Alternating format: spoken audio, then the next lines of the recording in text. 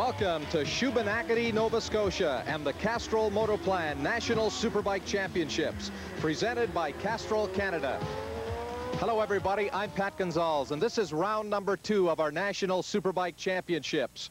With me is Craig Hill from Castrol and Craig, what makes this event so very special? Well, what makes it special to me, Pat, are the people down here on the East Coast. I mean, they just make it wonderful. John Doherty, his brother Pat, Gerard Van Heusen, the people from the Halifax Daily News, Q104, and all the very special volunteer workers who work so hard to make this event not only special, but an excellent event for us. But the track itself, you know, it's very, very difficult. The track's got a little bumpy over the last few years. The riders are having a hard time finding the line, but maybe that's an advantage to the race, too, because it's a great equalizer when everybody doesn't know their way around here, and it makes the thing a lot better, and power just isn't the answer here. Well, if you saw our opening round in the series from Sanair International Speedway, you saw a great superbike race. Miguel Duhamel on his Mike Crompton prepared Suzuki waged a race-long battle with Steve Crevier on his Rick Hobbs, Steve Wyatt prepared Yamaha. They exchanged the lead throughout the race, and then Duhamel made a daring move on the inside on the very last lap and held on until the checkered flag. Third place went to reigning Canadian Superbike champion Ruben McMurter on his Honda RC30. And so the standings after one race in the six-race series is Duhamel with 15 points, followed by Steve Crevier and McMurter, who are tied for second. Douglas, Mercier, and then Vancouver's Craig Trinder in sixth. Goodfellow, who is still riding with metal screws in his arm from his Daytona crash, Fletcher, Clausen, and Gannett in 10th spot. Craig, you know, it's interesting to note that Gary Goodfellow on his Don Nitz Suzuki is not racing his production bikes this year. He's concentrating all his efforts on trying to win the Superbike Championship. Defending champion Ruben McMurter is another rider who has parked his production machines this year as he's putting all of his efforts into retaining that number one plate. Others like Tommy Douglas will race in Pro 600 production, Pro 750 production, as well as superbikes. Steve Crevier is another rider racing in three classes. He'll be aboard a 750 Yamaha in Superbike. He's got his 600 production Yamaha, and he's also racing the Italian-built Aprilia in the 250 Grand Prix Championships. Then there's Team Suzuki's Michel Mercier, the two-time former Superbike champion, who's running both 750 production and Superbike. And second-year rider Miguel Duhamel is also racing in those two production classes. And while the riders will be very busy here this weekend at Atlantic Motorsport Park racing all of those classes, nobody will be busier than some of the mechanics and tuners who prepare those racing machines. I asked Mike Crompton, the Team Suzuki engine builder and mechanic, what his workload was like on a typical national race weekend? Uh, Pat, it's a pretty uh, heavy workload depending on uh, weather conditions, uh, track conditions. Sometimes we can just bring the bike out and uh, we have it pretty well nailed down. Other times we bring it out and there's a lot of changes to be done. Uh, gearing usually goes fairly quickly, but the chassis setup is the critical part, getting the power to the ground. Today we'll show you two races, the Pro 600 production final, as well as our big national superbike event. And we've got quite the field for the 600 race here today, Pat, with representation from all the manufacturers. But, you know, our viewers have got to sit back and look for the local riders out here, people like John Ramsey, because I think he's going to give our series regulars a real tough time today. Well, the early morning rain here has moved off. The skies are clearing. The sun is out. And we'll be back at Atlantic Motorsport Park with our Pro 600 production final in just a moment. Come back to Atlantic Motorsport Park. The Pro 600 production machines have rolled up to the line following their warm-up lap. Now here's Craig Hill with the starting grid. Row number one has Douglas on the pole with Crevier, John Ramsey, and Mark Green alongside.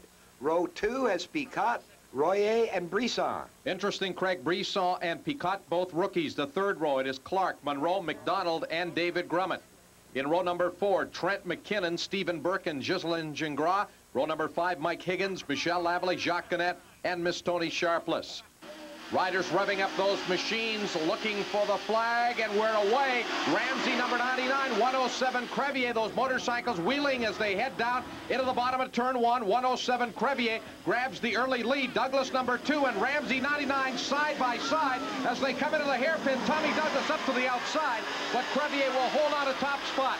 Douglas, number two, all over Crevier for the lead here on the opening lap. Ramsey has moved around into the second place position.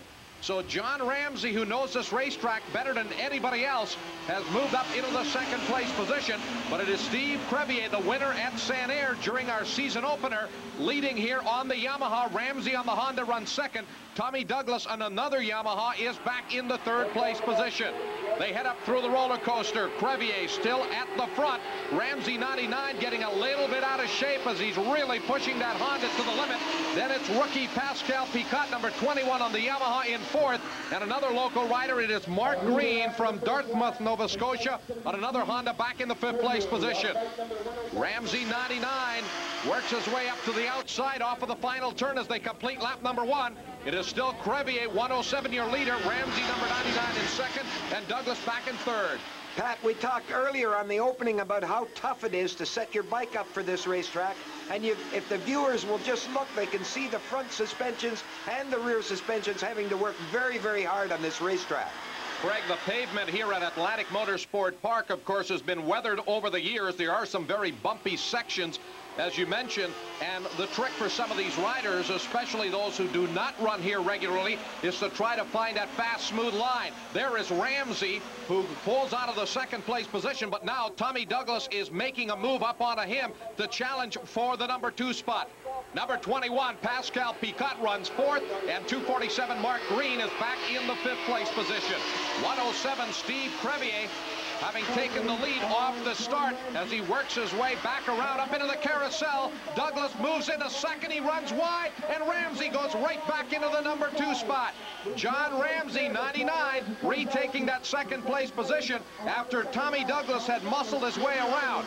Pat, you can see how a local knowledge of this track helps because the track being very bumpy, he just slid in there and got in the right spot, and away he goes again.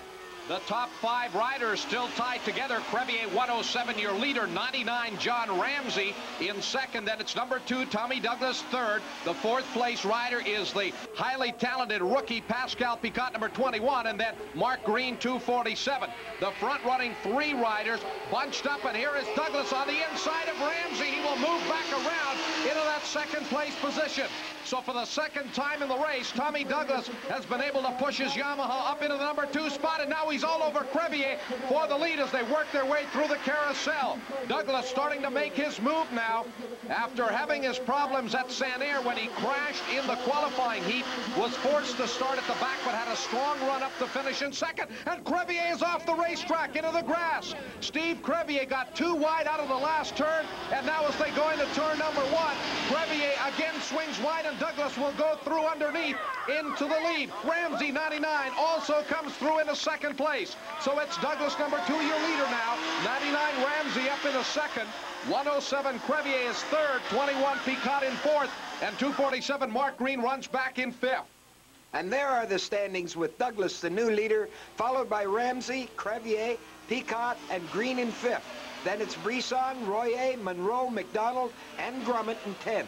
And if you remember, Pat, in our first race at Sanair, Quebec, you'll know that it was dominated by Yamaha machinery. So it's interesting to see John Ramsey on a Honda up in second place.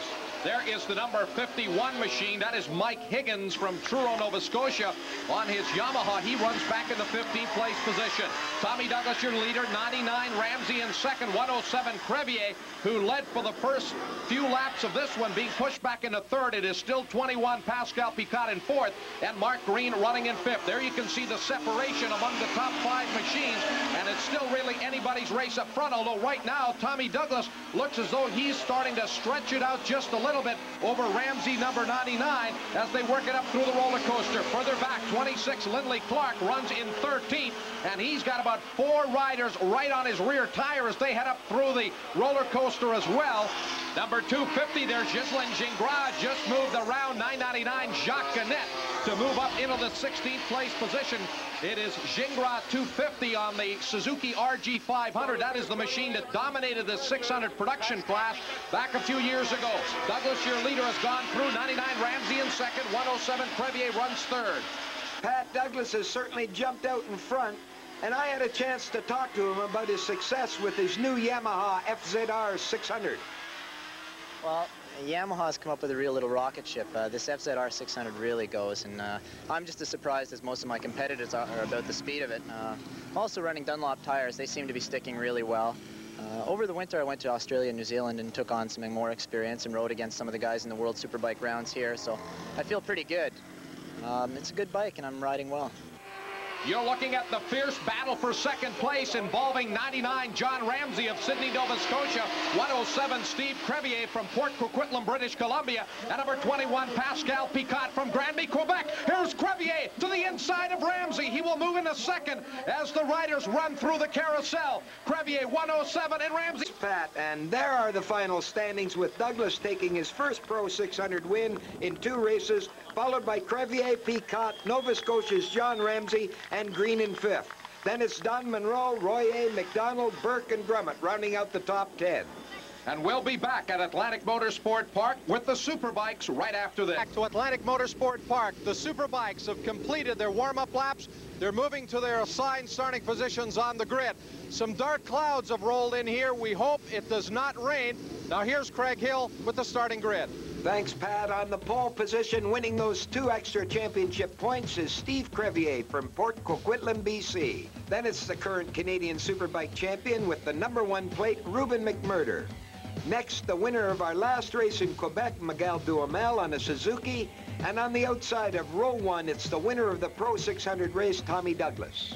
Interesting to note, Craig, there are two Yamahas, a Suzuki and a Honda on the front row. There is your second row, all Suzukis, Gary Goodfellow, Steve Dick, and Craig Trinder. The third row, Pilon, Clark, McDonald, and Green. In row number four, John Ramsey, Mike Griffiths, and rookie Pascal Picotte. Row five, Jacques Gannett, Brisson, Steve Wykes, and Norm Murphy on the Kawasaki. The sixth row, Martin Ducharme, the veteran Steve Gervais, and former champion Michel Mercier. The riders revving those machines up, and we are away.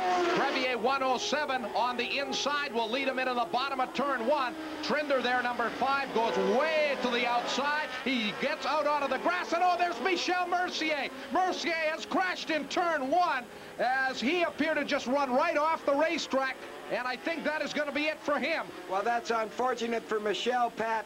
He's had bad luck all weekend. He had bad luck in qualifying off the road, a few other things, and now he's crashed. But I like the little dance he does when he gets back on his feet.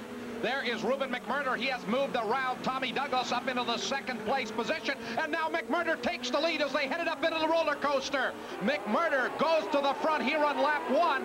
As there you can see the front wheel coming off the ground on the Honda RC30. So it is McMurter number one leading on the Honda 107 Crevier on the Yamaha in second. And now Miguel Duhamel has charged through into the third place spot. Number two, Tommy Douglas runs fourth. And Gary Goodfellow on the Suzuki is back in the fifth place spot. That is your top five as they complete lap number one. And McMurter now starting to open up some ground over the second place rider, Crevier, number 107. But he now comes under attack from Miguel Duhamel as they break into the hairpin here. The slowest corner on the racetrack, that very tight left-hand hairpin. And McMurter runs out in front. Steve Dick is back in the sixth place spot on yet another Suzuki.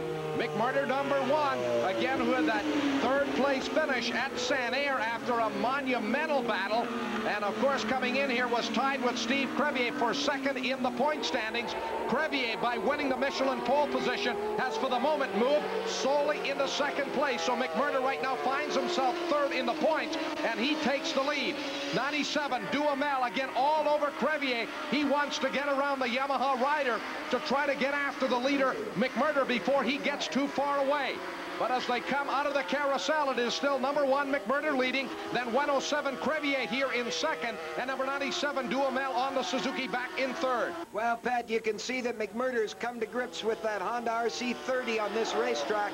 He's riding it very well and it has a lot of low-end torque under the corners. There's Tommy Douglas, number two. He's off the racetrack, but I think back on, but he will lose a couple of positions. As they head up out of the hairpin, it is still number one, McMurter, your leader, 107 Crevier second, then Duhamel, followed by Goodfellow. Steve Dick now has moved up into the fifth place spot. Steve Dick, who did not race at the season opener at Sanair, but has joined our National Superbike Championships here at Shubenacadie, Nova Scotia. Good battle here for that second place position. Crevier managing to hold off Duhamel number 97, but you can see that Duhamel is just looking for the slightest opening to try to get around Crevier here on the Yamaha. That, of course, is the brand new Yamaha OW01 that has been very impressive in World Superbike racing. Further back, number 21, Pascal Picotte and 315 Mike Griffiths are having their own personal battle. Duhamel continues to put the pressure on Crevier as they come into the bottom of turn one. It is still McMurder out in front by about 15 or 20 bike lengths. And Duhamel into the hairpin, moves to the inside of Crevier and will put his Suzuki into the number two spot. So Steve Crevier, who led early until McMurder got around on the opening lap going into the roller coaster. The race for eighth moves through the hairpin, 163. Quebec's Benoit Pilon trying to hold off the two Nova Scotia riders, Mark Green and Clyde McDonald. There you can see part of the dedicated and enthusiastic fans here at Atlantic Motorsport Park. And there are the standings, Pat, with the number one plate holder on his Honda RC30 in front, followed by Duhamel, Crevier, Goodfellow, and Steve Dick. Then it's Douglas back up to sixth after his come up with Trinder, Ramsey, Pilon, and Green following up that bunch in front.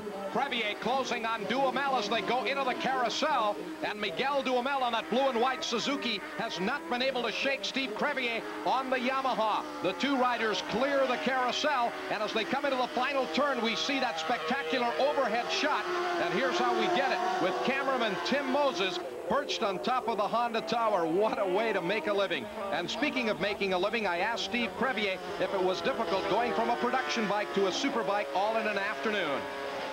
Yeah, going from any production bike, Pat, would cause a problem because going from production tires then on to slicks, uh, the production tires they don't they don't uh, adhere as much as the slicks do to the asphalt. So takes you a while to differ, you know, to, to compensate for that difference. Miguel Duhamel, who is certainly a versatile rider, a champion motocross rider until turning to road racing, and Duhamel goes through on the inside to take the lead away from Ruben McMurter, who has led since the opening lap.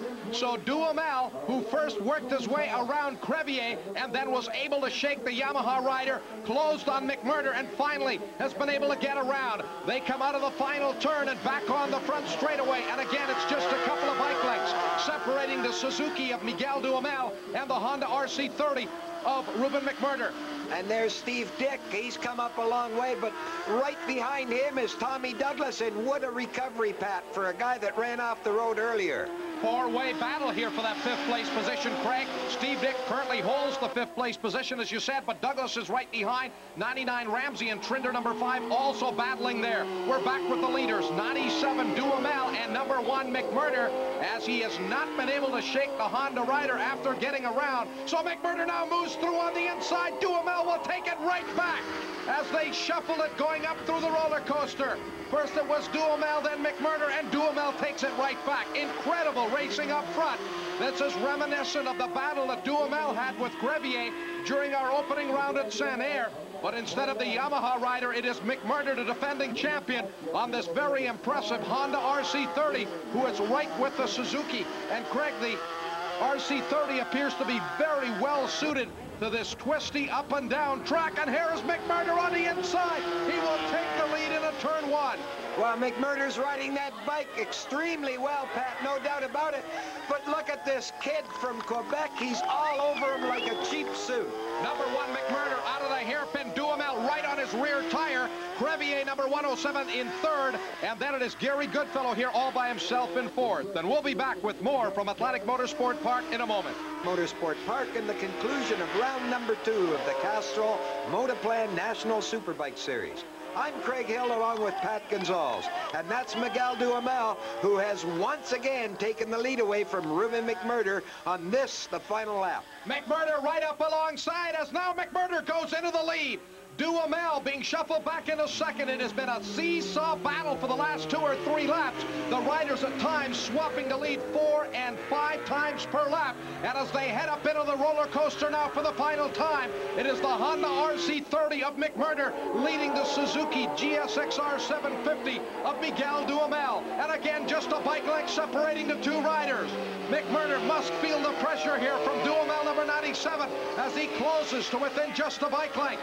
Into the carousel for the final time. Remember, Duhamel was able to get around Crevier at Sanair during round number one in the very last corner for his victory. And he's trying to pull off the same move here on McMurter as he pulls up alongside Duhamel. Moves down to the inside and he will take the lead. The checkered flag is out at the line. And there it is. Miguel Duhamel has won here at Atlantic Motorsport Park. McMurter will finish in second, and Steve Crevier takes the checkered flag to finish in third.